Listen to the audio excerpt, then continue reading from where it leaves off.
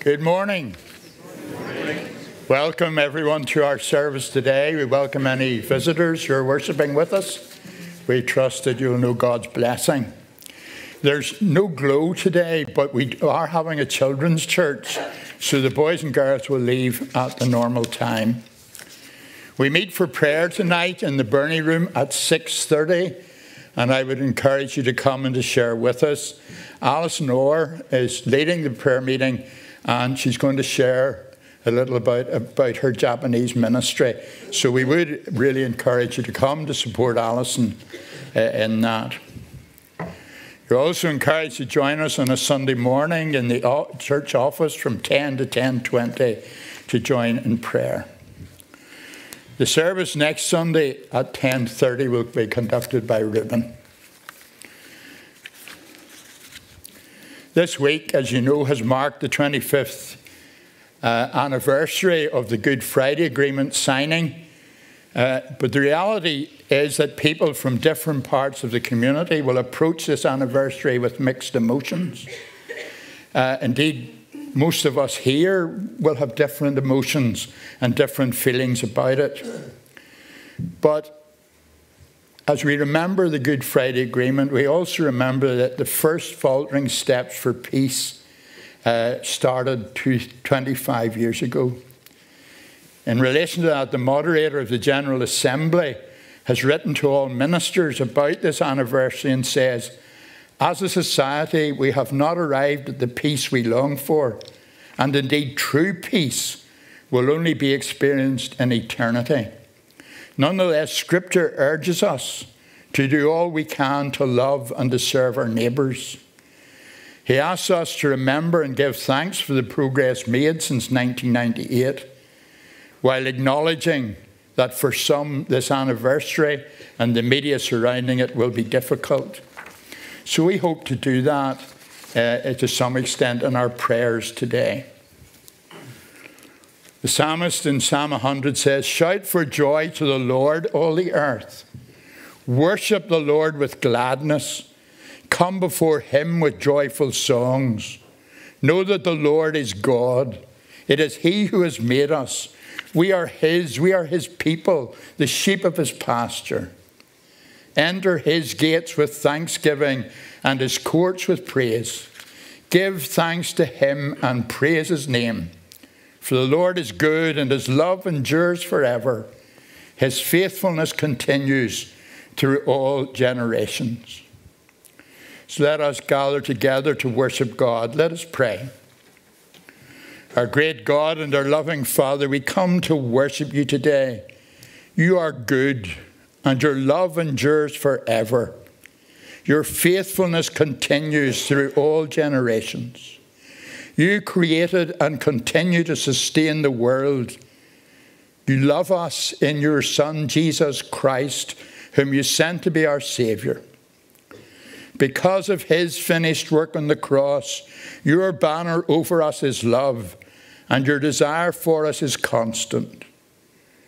Together we gather to confess our sin and to receive your forgiveness, to listen to your word, to pray for guidance and blessing, that we may do your will and that people will acknowledge your gentle and just rule. We confess that we have willfully misused your gifts. We have seen the ill treatment of others and have done nothing to help. We have not loved you with all our hearts, nor our neighbours as ourselves. As you have loved the world so much that you sent your Son Jesus to be our Saviour, forgive our sin, make us holy to serve you in the world. For we pray in Jesus' name and for his sake. Amen. Al's leading us in our praise today. Good morning. Um, I'm just back from trying to climb the highest mountain in Ireland um, last Tuesday, and to say that it was raining, we're going to sing a song about Noah in a minute, but Noah would have had the ark being rebuilt with the rain that we experienced on Tuesday. And as we're climbing up the side of a pretty steep bit of rock, um, the wind was actually blowing the water back up the mountain into our faces. And we took refuge in a little uh, shelter hut that the mountain rescue team have built down there and sipped on our flask of tea and had our sandwiches in the not quite so damp conditions of inside the hut. And I was completely overwhelmed because the God who creates those mountains and that ridiculously strong wind and that amount of water falling from the skies is the God who knows me and loves me. And I was just blown away that the God, this author of creation, loves each one of us so very, very much, even though he has such power. So we're going to stand together and sing, You're the Word of God the Father, you're the author of creation.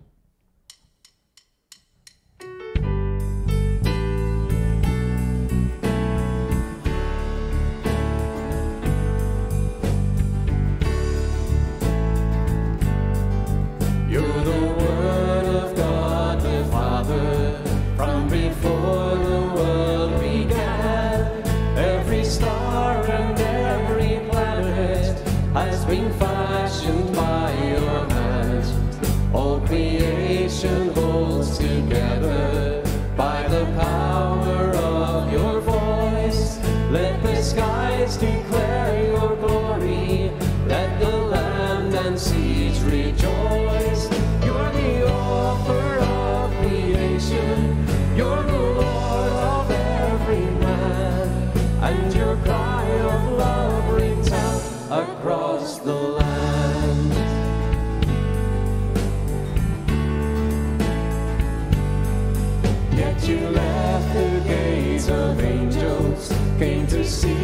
Save the lost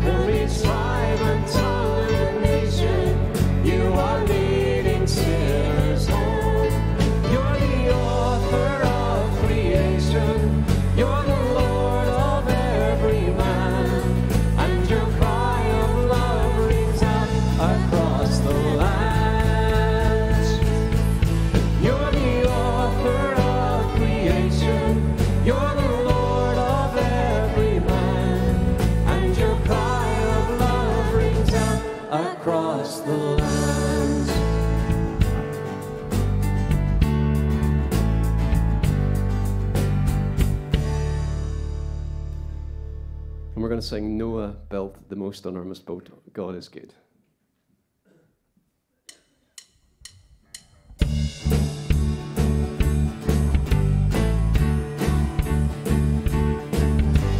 Noah built the most enormous boat that kept the birds and animals afloat.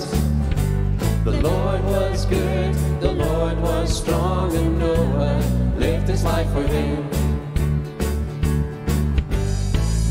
Led his people through the sea, taking them away from slavery.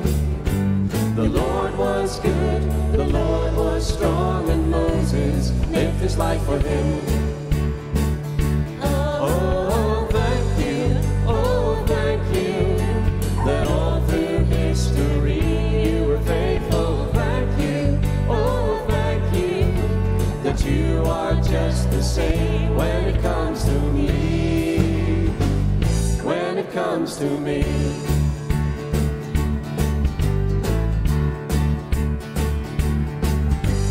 David fought Goliath and he won. A humble shepherd boy became a king. The Lord was good, the Lord was strong, and David lived his life for him. Daniel was inside a lion's den, but God brought him to safety once again. The Lord was good, the Lord was strong, and Daniel lived his life for him. Oh, thank you, oh, thank you, that all through history you were faithful. Thank you, oh, thank you, that you are just the same when it comes to me. When it comes to me.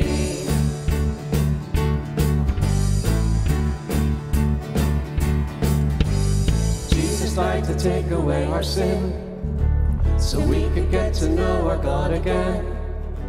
The Lord is good, the Lord is strong, and we will live our lives for Him. Oh, thank you, oh, thank you, that all through history you were faithful. Thank you, oh, thank you, that you are just the same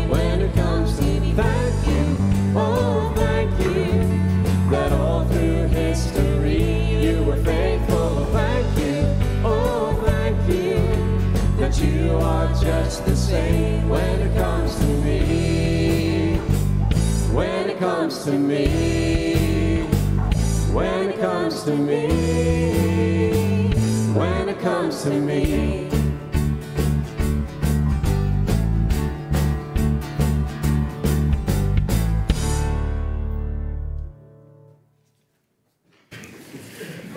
Some of the boys and girls are ready up here. If any other boys and girls are about and want to come up,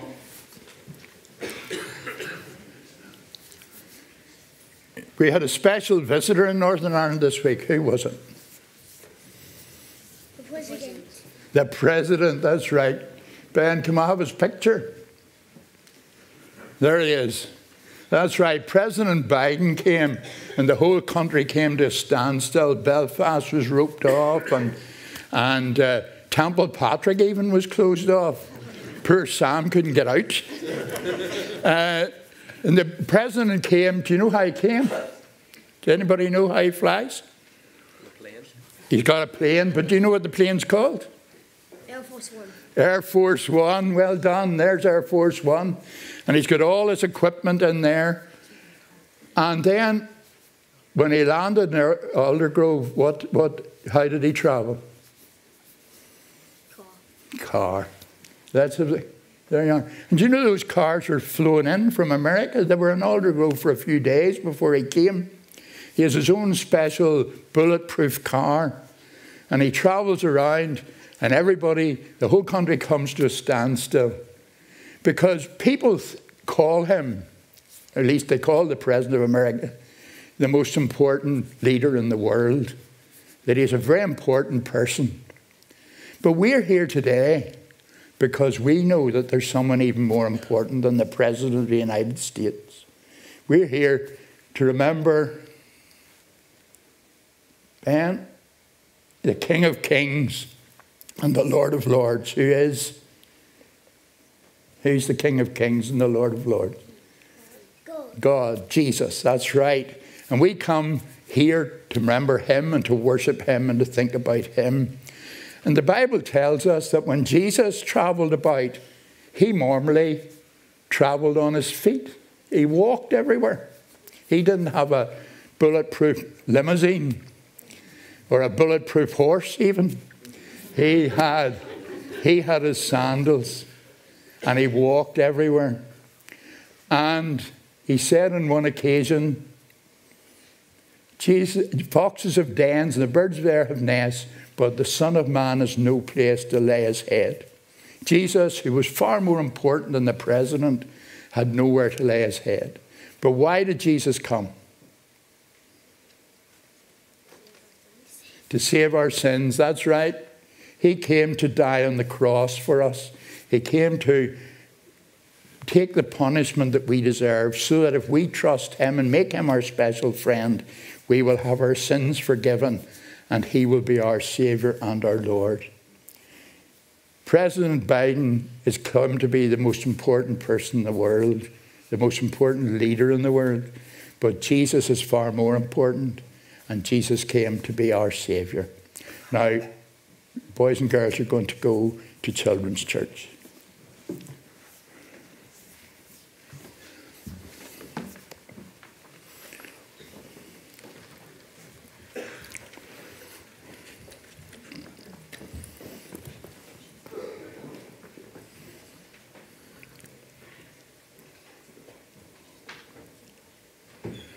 As part of our worship, we bring to God our offerings. The offerings are going to be received, and the band are going to lead us.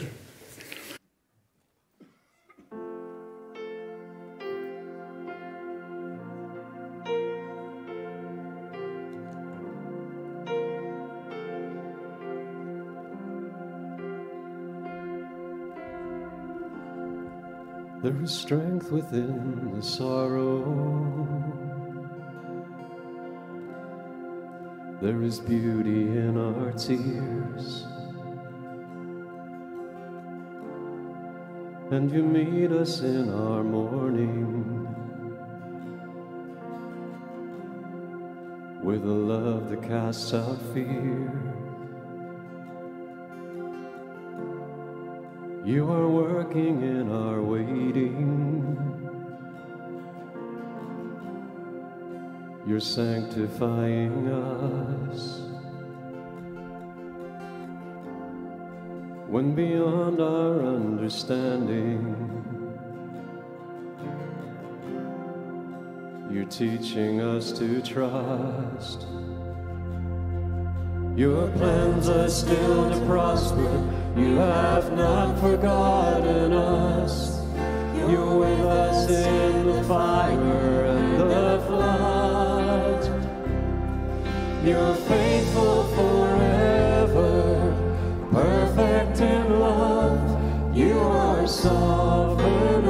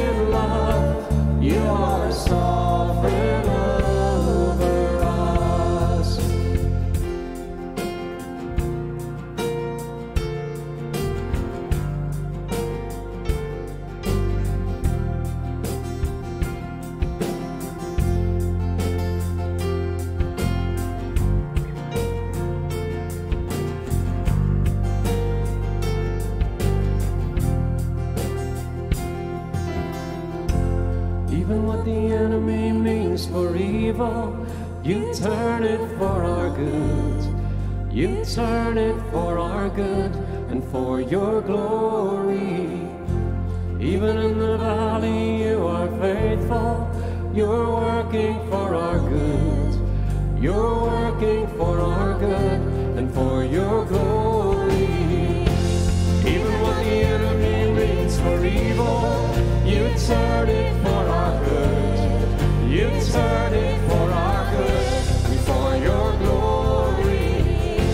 Even in the valley, you are faithful. You're working for our good. You're working for our good and for your glory. Your plans are still to prosper. You have not forgotten us. You're with us in the fire and the flood.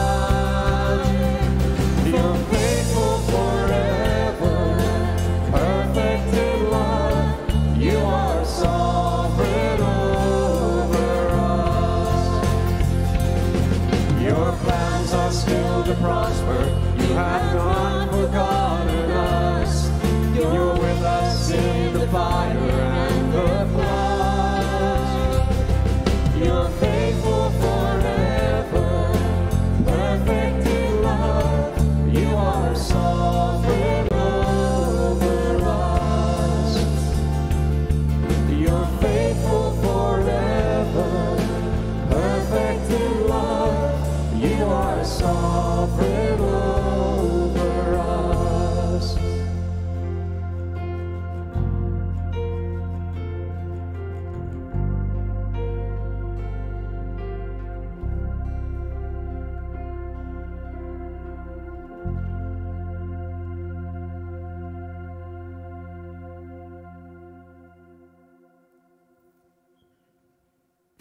Now, Robin is going to lead us in our prayer for others.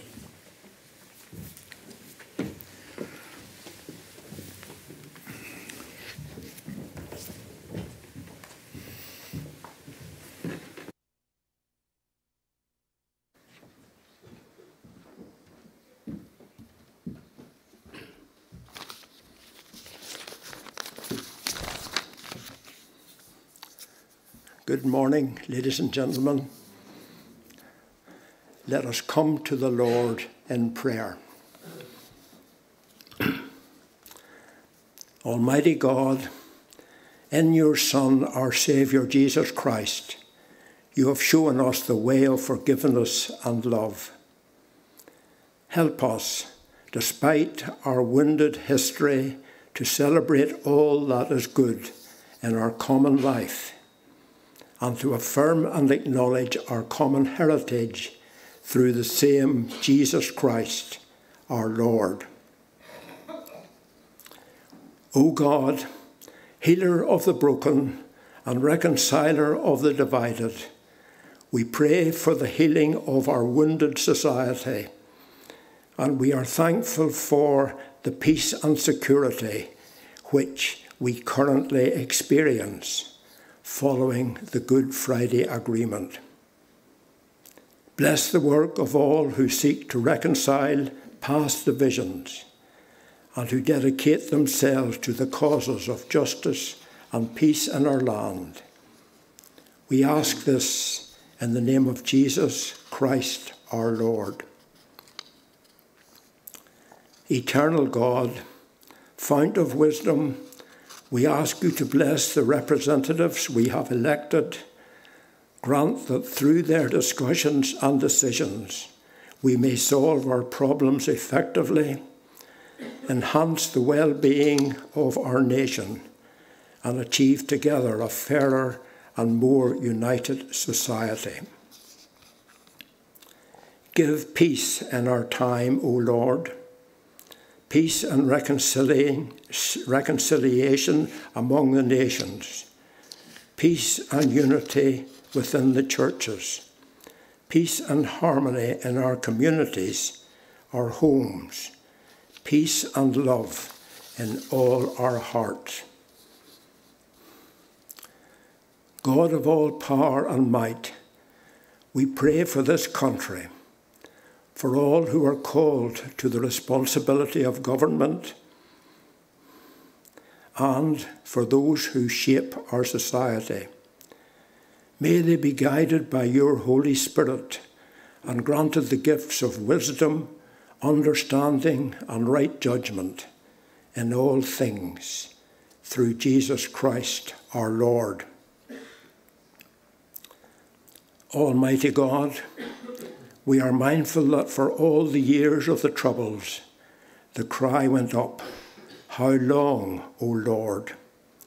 We prayed for peace, and many worked for it. We thank you for the relative peace that we have and for the lives which have been saved. But we are conscious of the distance still to travel.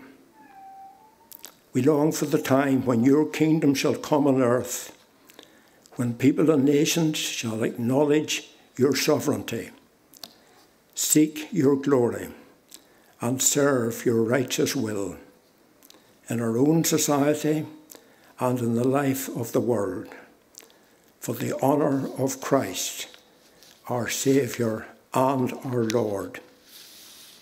Amen.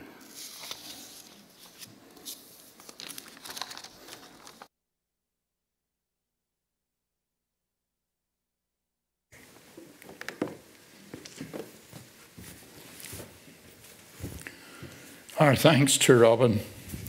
You'll find our reading today in Second Chronicles chapter 7. I'm reading verse 11 through to verse 18. Second Chronicles chapter 7. It's page 442 in the Pew Bible. Second Chronicles chapter 7. We're reading from verse 11. Let us hear together the word of God.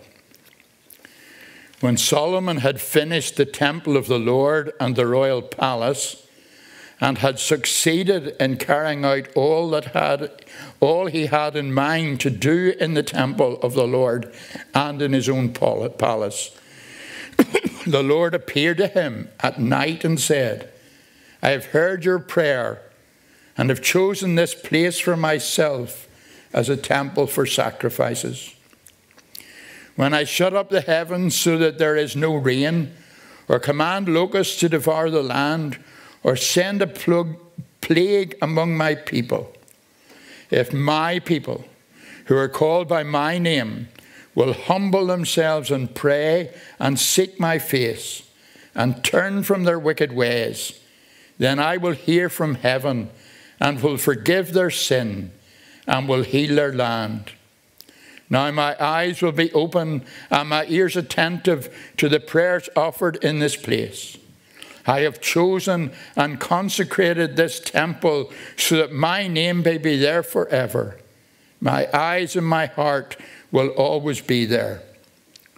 As for you, if you walk before me as David your father did, and do all I command, and observe my decrees and laws, I will establish your royal throne as I have covenanted with David your father when I said, You shall never fail to have a man to rule over Israel.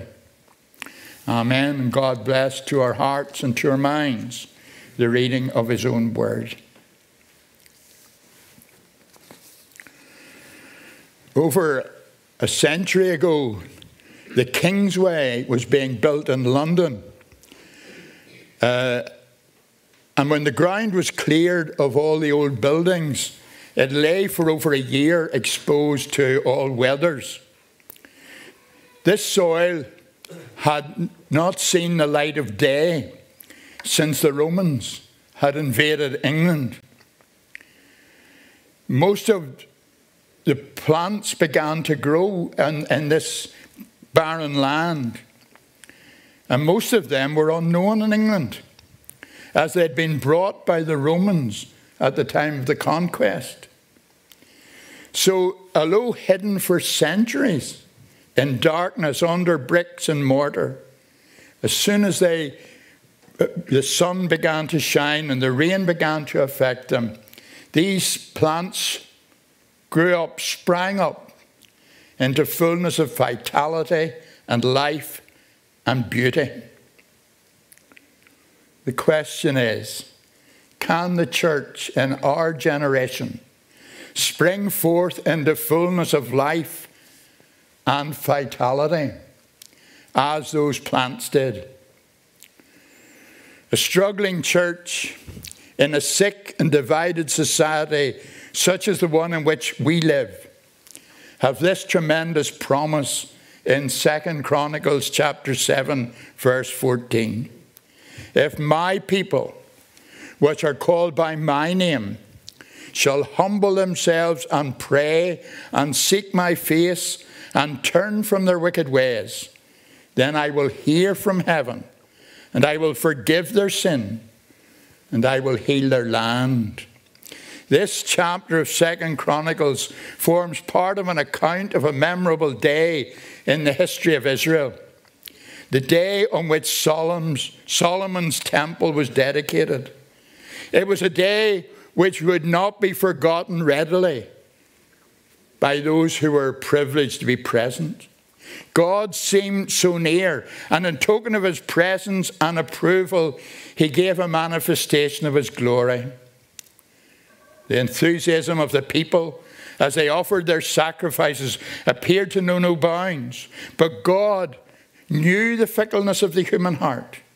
And so, on this day of national rejoicing, when the people were unrestrained in their fervour for their allegiance to God, he knew there would be a time when things would not be like that.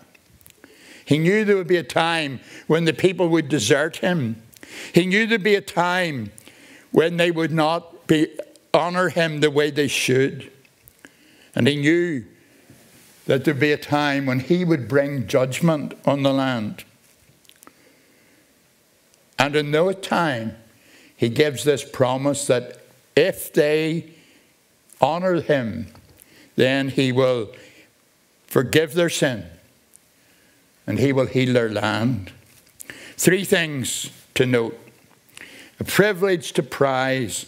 This promise was made in the first instance to those whom God describes as my people, called by my name.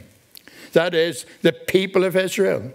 Israel had been chosen by God to be a nation which would be dis- distinct from all the other nations, and as such was the heir of many promises.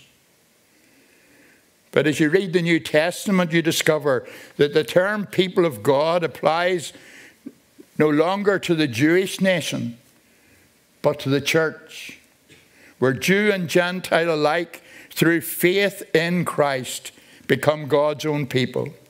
So, although this verse originally applied to the Israeli nation, surely the promise can now be seen as applying to the church. And what we notice here is that the condition of God's people invariably affects his work in the world. The spiritual condition of the church directly affects God's place and God's work and God's purpose in the world. There was a great Scottish preacher called Fraser who ministered in Tain in the north of Scotland. And Fraser said this The church is always looking for better methods, but God is always looking for better people. God is always looking for better people.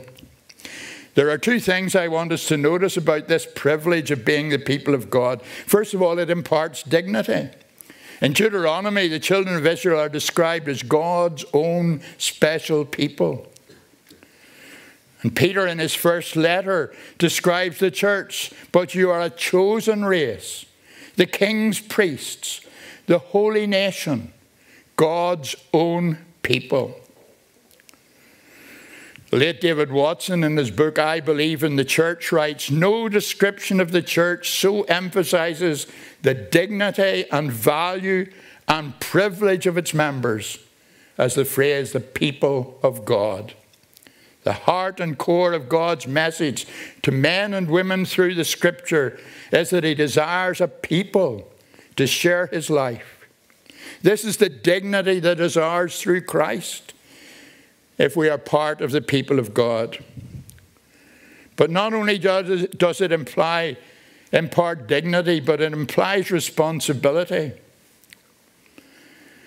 It is reported that after the assassination of John and then Robert Kennedy, that somebody said to Edward Kennedy, who was the only surviving brother, You bear an honoured name. The future is in your hands. And so it can be said of us, the people of God, we bear an honoured name, and the future is in our hands. It is God's intention that His people should be so glorify Him in the world that others will see Jesus in them. He has commissioned us to reveal Jesus to a world that does not know him. We are called to influence this world for good and for God. Someone said, What the world needs to see is the wonder and beauty of God possessed personalities, men and women with the life of God pulsating within, who practice the presence of God and consequently make it easy for others to believe in God. Secondly, I want you to notice the price that has to be paid. If we are to claim the promise of healing and forgiveness that is promised in this verse, then we have a price to pay. We must humble ourselves. We must pray. We must turn from our wicked ways. Christian service is costly service, for at its heart lies the cross. I've been in the ministry now for over 40 years, and if someone asked me the biggest difference between now and 40 years ago, I would have to say that it is this Christians have lost sight of this reality that there is a cost to Christian service. God calls us to commitment and to service. Notice in this verse the three things that we have to pay. Pride must be humbled. Pride is one of the most common of human feelings, and yet it is a deadly sin. It is that ugly thing which causes a puny human being to shake his or her fist at God and say, I am the master of my own fate. I am the captain of my own soul. But when a man or woman is humbled in the presence of God, this attitude retreats into the background so that a person is willing to acknowledge certain things. There will be an acknowledgement of sin. Sin will be seen in its true colours. The Shorter Catechism puts it like this Sin is any want of conformity unto or transgression of the law of God. Sin will no longer be dismissed as an error of judgment or as a mistake, but will be recognized for what it is an act of rebellion against God. Moreover, the wrong that is done through sin will be regarded as a wrong not merely against another human being, but against God. In the spirit of true humility, we will cry out with the psalmist, Against you, you only have I sinned and done evil in your sight. Humbling ourselves means that we are to recognize that we are only worthy through Christ. Our independent nature and abilities do not give us strength. It's only through the power of Christ that we are worthy. In spite of the fact that we do not merit his approval, he contacts, contacts us in affection, gives us dignity and worth, regardless of our weakness. One of the things that has ex- that exercised me continually throughout the years of the violence and tension that we lived through was that there was very little sign of humility. And that has continued over the past 25 years. People know very little about humility. People today are full of arrogance and self dependence. Men and women arrogantly depend on their own resources in what we called the Troubles, there was very little turning to God in humility. And in the situation, the materialism, and the secularism in which we live, there is no sign of a great turning to God in humility. In the 1920s, in the troubles of the 1920s, there was a great turning to God certainly in Belfast, mainly through the ministry of a man called W.P. Nicholson. And one man in his biography of Nicholson writes In the mercy of God, an intervention came from an unexpected source. While other measures were taken by the people and government to establish the rule of law in Northern Ireland, a gracious and powerful work of the Spirit of God contributed in no small measure to a renewal of the life and witness of the churches, and the general good of the community at large.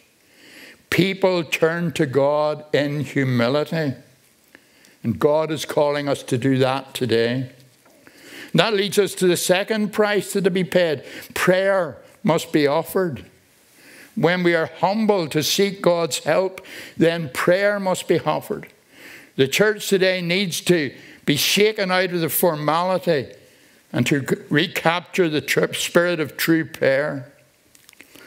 It's told of the great preacher C.H. Spurgeon that on one occasion someone was visiting his church and was, Spurgeon was showing them round. And the person said to him, What about the heating system? And Spurgeon took him to the prayer meeting. That's the meeting, that is the heating system. The heating system is hardly turned on these days. The embers of the fire of our spiritual life are burning so low that we fail to bring comfort and reality to people. Perplexed and disillusioned people turn their backs on the church because the church has nothing to offer them. We can try to make our services more seeker friendly. We can try to organize all kinds of outreach. But until God's people give themselves to prayer and seek His face, the church will continue to decline. Until we have a real burden to give ourselves to prayer, to be willing to make the sacrifices necessary to come to the prayer meeting, the church will continue to decline. It amazes me that there are people who are concerned about the life of the church, who are always ask, seeking to make the church relevant to society, who want to see change in the church and yet are not committed to the prayer life of the congregation. God calls us to pray and to seek His face, to be earnest. Here lies the answer to the future of the church in Glengormley. Here lies the answer to the future of the church in Northern Ireland. If we want to see our church grow and prosper, if we want to see real peace in this province, if we want to have a brighter future for this land, then we must commit ourselves to prayer and to the prayer life of the congregation. Humility, prayer, and the third requirement is repentance. The remaining condition is that we must turn from our wicked ways. It is surprising that a people who had been chosen by God should be so ready to turn their backs on Him. Yet the Israelites were all too prone to follow the heathen nations, to engage, among other things, in the practice of idolatry. And unfortunately, the practice of idolatry has not ceased with the passing of the years. We no longer worship golden calves. But an idol is anything that dethrones God in our lives. Materialism can be an idol. Popularity can be an idol. Political systems can be an idol. When we're more concerned about our political systems than God's will, then we are guilty of idolatry. God must be number one in our lives, not our political systems, not political leaders or anything else. God calls us to turn from our wicked ways. We must repent of our idolatry, of our bitterness and of our prejudice, of our self centeredness. We must repent of all those sins that hinder our relationship with God. Repentance may be defined as a change of mind leading to a change of heart and a change of life. There is a privilege to prize being the people of God.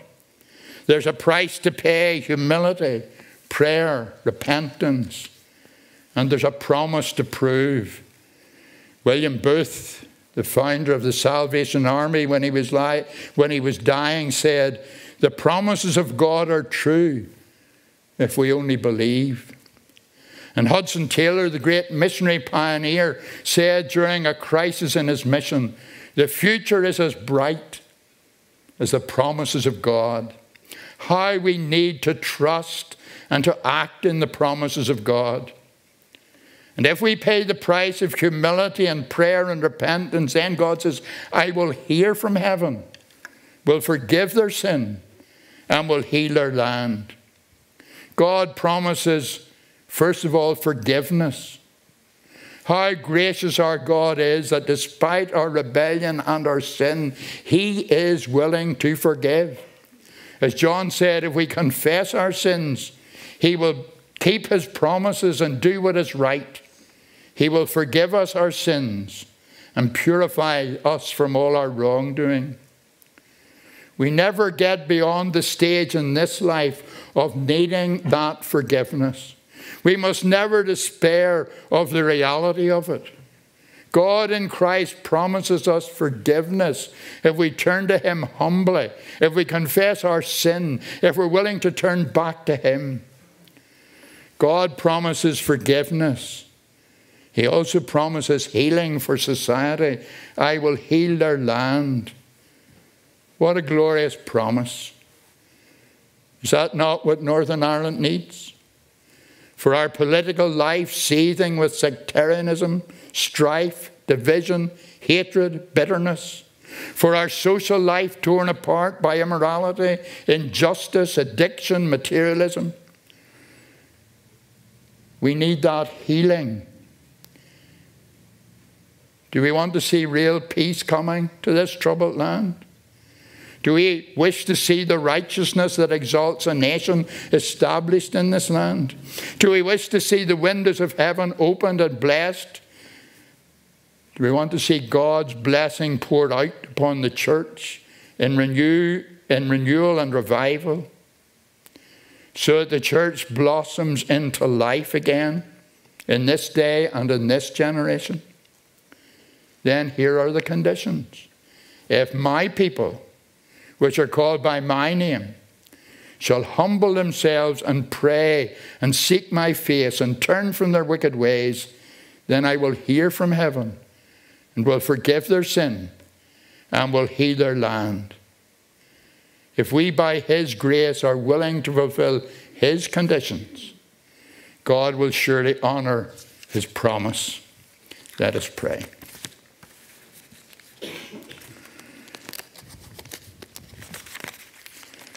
Father, we come to seek you today.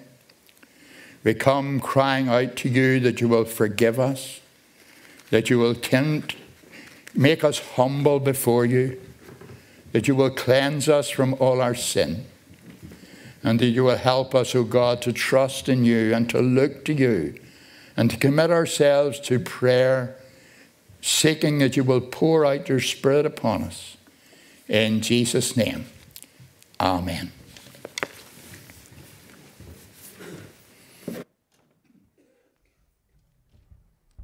So, with those words of Second Chronicles 7 fresh in our ears, we can stand and sing that we will stand on every promise of His word from the breaking of the dawn.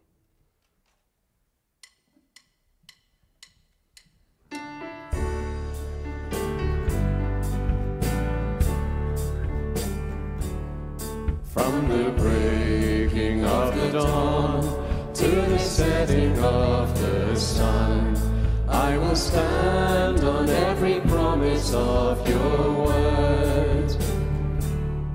Words of power strong to save that will never pass away.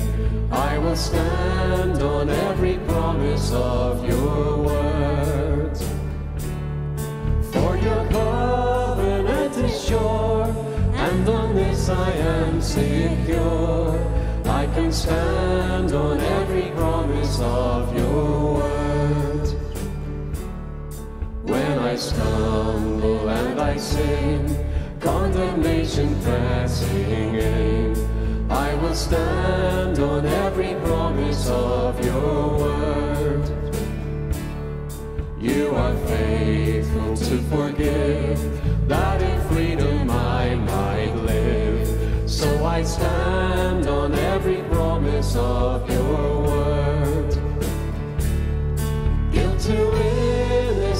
restored, you remember sins no more. So I'll stand on every promise of your word.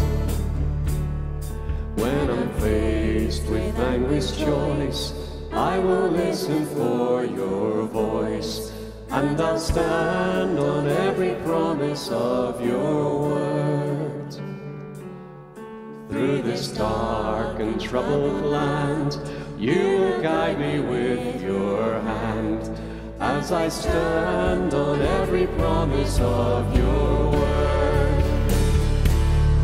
And you promised to complete every work begun in me. So I'll stand on every promise of your word.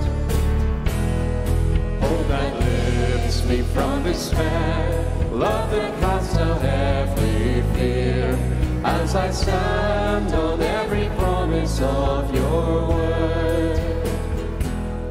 not forsaken, not alone, for the Comforter has come, and I stand on every promise of your word. Grace sufficient, grace for me, grace for all who will stand on every promise of your word. Grace sufficient, grace for me, grace for all who will believe. We will stand on every promise of your word. And we finish with a song that you will know most of. Great is thy faithfulness. Slightly different in the middle. Don't worry about it. You'll pick it up, no problem at all.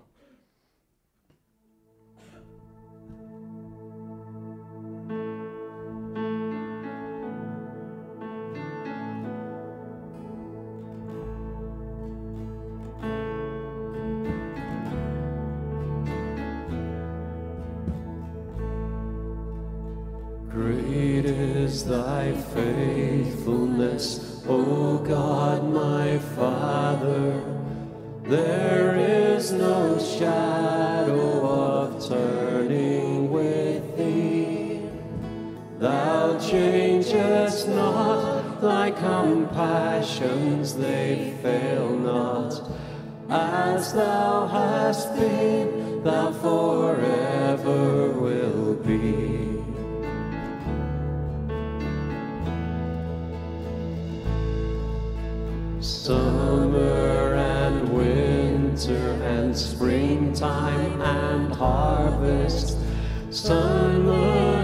stars in their courses above.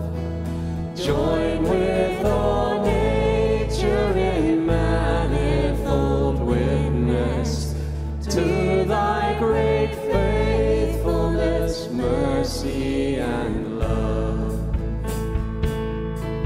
beginning to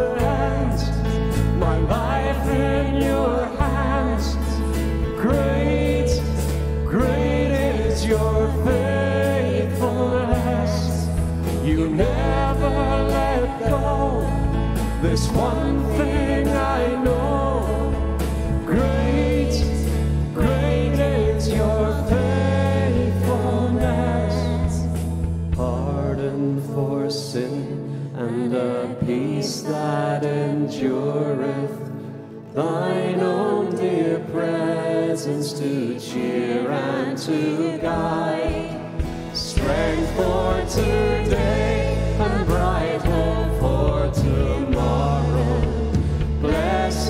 All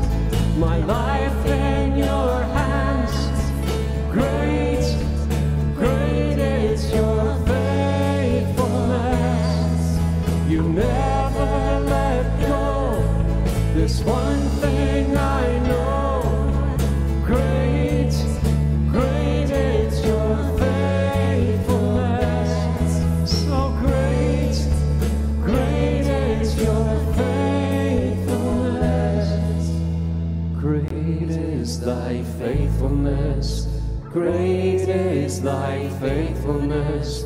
Morning by morning, new mercies I see.